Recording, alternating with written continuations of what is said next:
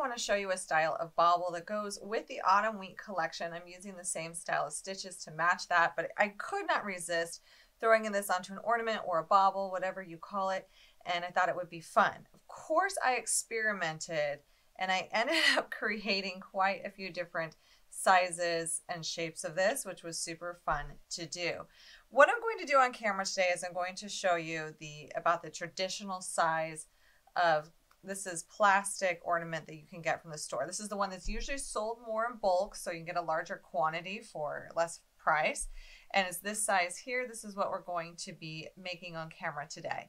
So I'll show you how to do this one. And then in the pattern, there's going to be a guide on how to adjust it for different sizes of um, ornaments. The cool thing is it's very stretchy, so it's easy to um, put it on different shapes. This is more of an oval style shape on the side, a flat, almost like you took an ornament and you squished it a little bit more flat.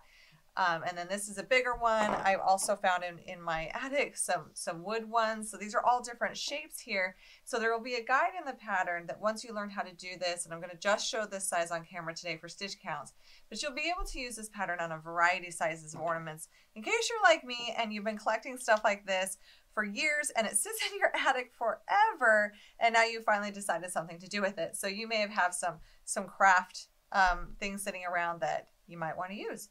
So also what you will need is yarn.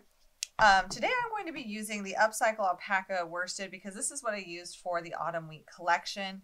Um, I'm going to be showing it in the color Sage in this size. But like I said, this is a worsted weight here.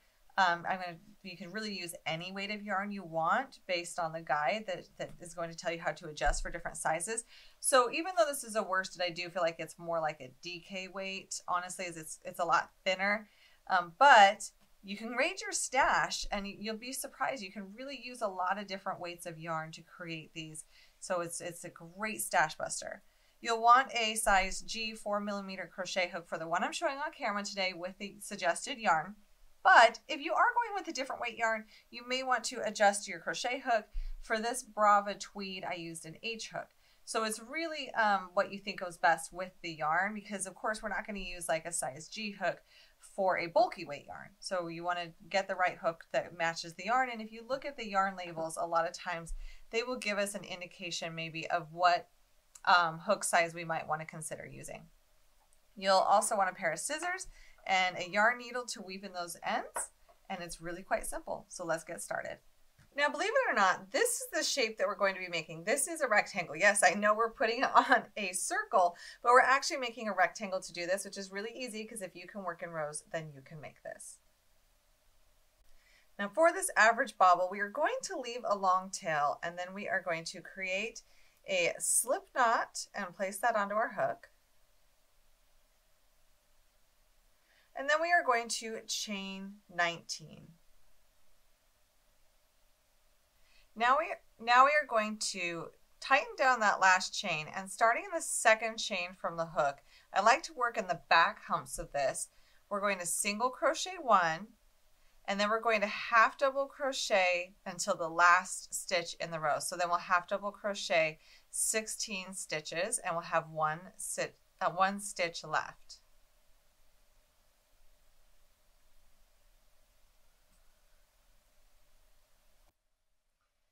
Now for the very last stitch in the row, we are going to single crochet. So the first and the last stitch of every single row is going to be a single crochet.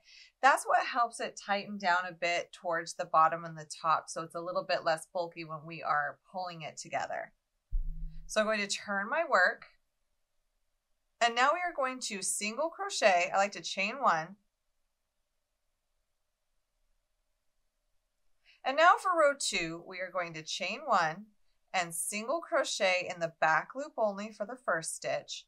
And then we're going to work until the very last stitch of this row by working half double crochets in the third loop only.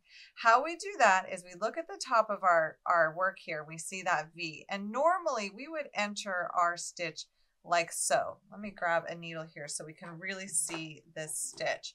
We would normally enter our stitch from this top part like this, where this is where we would enter a stitch when we are regular crocheting. But we are going to work our half double crochets in what's called the third loop, and that for this project is facing us when we're working in rows. So this is the third loop. This is what we want to work into. This is what creates that beautiful knit stitch. So we're not entering here like we normally would. We're going to enter here in the third loop. So that's what's facing us along the front of this almost. And that way it leaves those stitches to look knit uh, on the other side.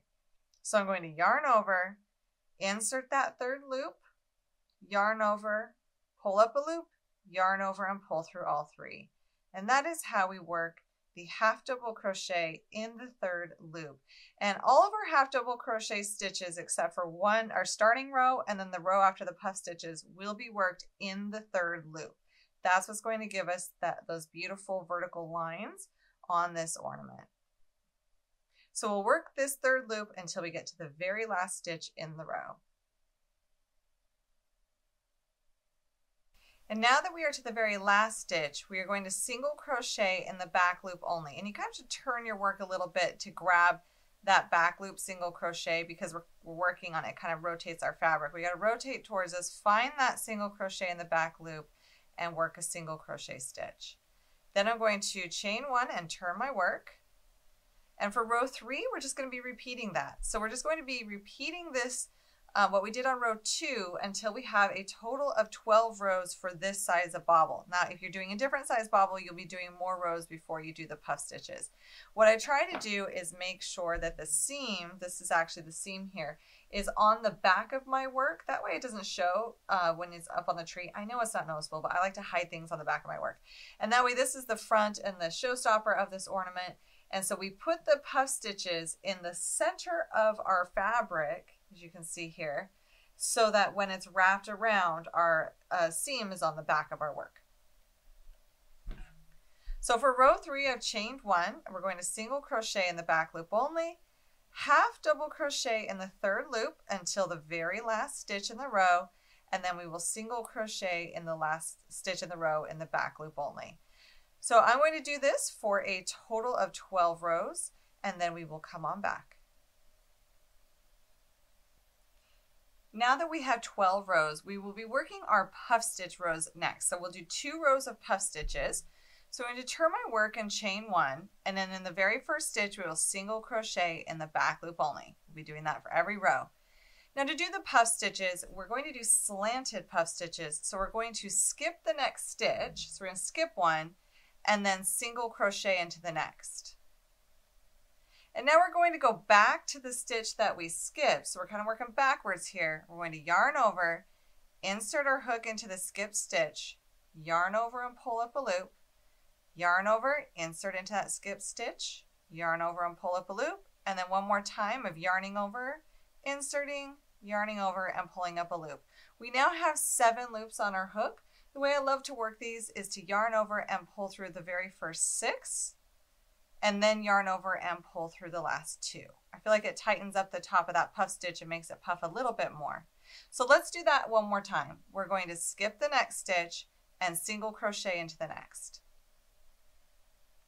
Then we're going to go back to our skip stitch and we're going to work a puff stitch.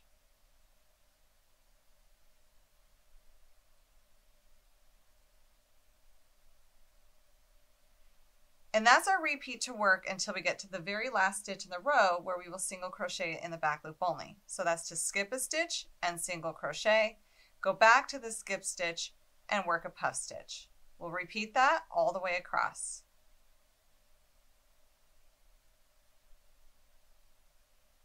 Now that we are at the last stitch of the very first puff row, we're going to single crochet into the back loop only.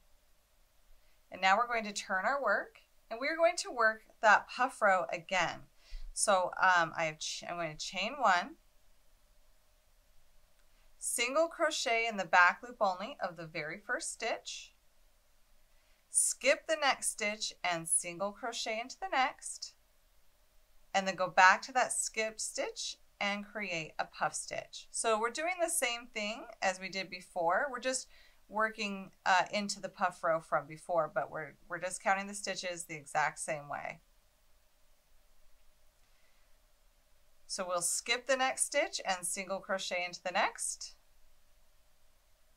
go back to the skip stitch and work a puff stitch. And this what makes that almost uh, like a really pretty braided look with these puff stitches, almost like a Christmas wreath too. I, I named it after the for the autumn wheat collection because it looks like wheat, but I also think this looks like a wreath. And I do have some other patterns that use it that way um, as a wreath. These puff stitches are something I've totally fallen in love with. So now I'm going to work the puff stitches all the way across until the very last stitch, and then we will single crochet in the back loop only for the very last stitch of the row. Now after working that last single crochet in the back loop only, I'm going to turn my work and we are done with our puff rows. And now we need to start working back into this pattern repeat. But for this very first row, we won't be able to work the half double crochet in the third loop. It's just not really easy to do. So we're going to start by doing a single crochet in the back loop only, and then we're simply going to half double crochet until the very last stitch where we will single crochet in the back loop only. So we're just doing regular half double crochets for this row, and then the remaining of the pattern will be half double crocheting in the third loop. So now after doing a regular half double crochet row, I can turn my work and now I will start back in that pattern where we'll single crochet in the very first stitch in the back loop only and then half double crochet into that third loop all the way across until the last stitch where we will single crochet in the last stitch. I also want to note just by nature the puff stitches will look like they're bowing a bit right here. It'll even out. Um, puff stitches have a lot more yarn so this this row might make it a little bit wonky for a second but don't worry, it looks really good once you keep working and you get it onto the ornament. It makes it lay flat. Now I did a total of 12 rows after the puff stitches. So for this size, there's a total of 26 rows. I did 12 rows here, did two rows of puff stitches and 12 rows here. Now what you can do, because not all ornaments may be the same, is you can kind of wrap this around to make sure, and you have to stretch it just a little, to make sure that it's going to look good and fit and fit all right. That's a great way to find out is just to simply do that. Now we're going to be doing some seaming. So I am going to put my hook back in here. I like to do a slip stitch seam. It's really easy to do. So I'm going to fold my current row and my first row together like so. I've chained one and I'm going to go through the back loops only of the single crochet stitches and slip stitch those together. Now to make this really nice, I like to do a, a different kind of seam. So I'm going to go through the third loop on the side closest to me, and then the front loop on the side farthest away, and then slip stitch those together. That's what I'm going to be working for all these half double crochet stitches. So, th so through the third loop, through the front loop, and slip stitch together. Now on this side of the fabric, it might not look the greatest. The seam is a bit more noticeable, but when we flip this inside out, the seam, you don't really notice that you have this still in pattern and you're not really noticing much of the seam. So that's why I do it this way and then I'll flip it inside out. So I'm going to slip stitch the third loop and then the front loop from the other side all the way across and then in the last stitch for the single crochet I will just slip stitch um, the front the um, back loops of the single crochet stitches together really doesn't matter too much for those edge stitches. And once we have these all the way across, then we will be joined.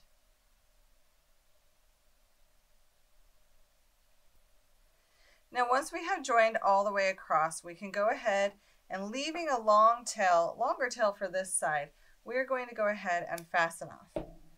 This doesn't use that much yarn, so I don't mind leaving a long tail. What I like to do before I slip, I flip this inside out is I'm going to take the yarn that I just fastened off and I'm going to place it on a yarn needle. I'm just going to loop through to secure that last stitch. And now I'm going to weave all the way to the other side. So we have uh, yarn, yarn already on this side for us to use, but we'll need to close the top over here. So instead of attaching a new piece, I am simply going to weave this piece, and it doesn't have to be perfect because remember we are going to flip this inside out. I'm just going to weave this piece across so that is on the other side of our um, project that's on the open side. So to close the sides, we'll need yarn on the top and the bottom of this.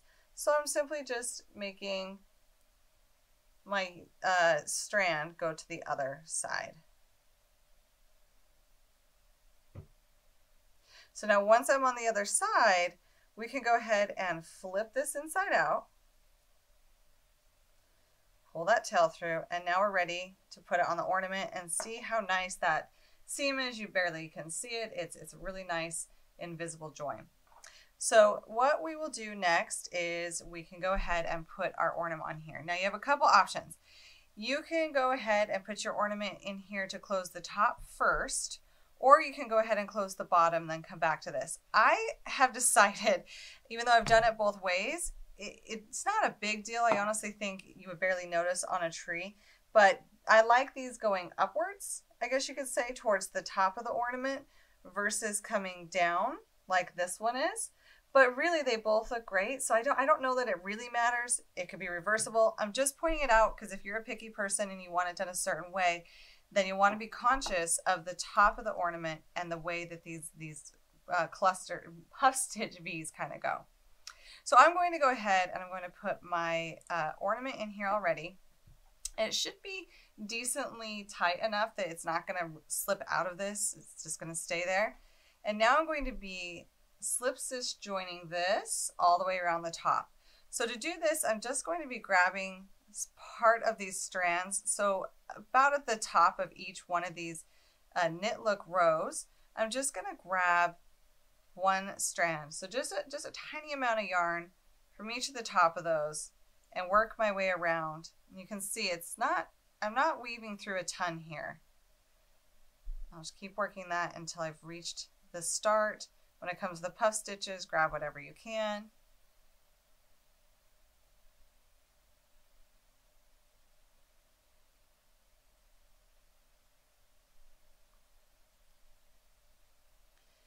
And now I'm back at the beginning of this, um, where I started, where the seam was. And what we can do is we're simply going to pull this strand and that will close this opening. So we'll simply pull this and now it's tight around there. And then that closes that opening for us. And I'm going to weave through a couple more times just to make sure that this is really secure. But then we'll come back and we'll do it again to the bottom of this. So get it to look nice and tight around there. Weave around a couple more times if you like. Go in the opposite direction. Um, make sure that it is fastened securely around this ornament.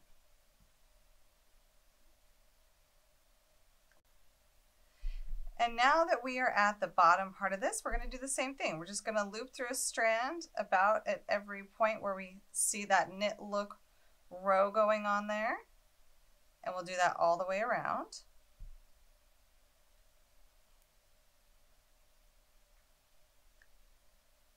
So we're just looping through all the stitches on this edge just the same way we did as the on the top. Not catching every row, but every so often and we'll keep going all the way around. And then we'll do the same thing as we did before and we're simply just going to pull that closed. Look how nice that is. We'll completely close that hole by weaving it through a couple more times and making it really secure.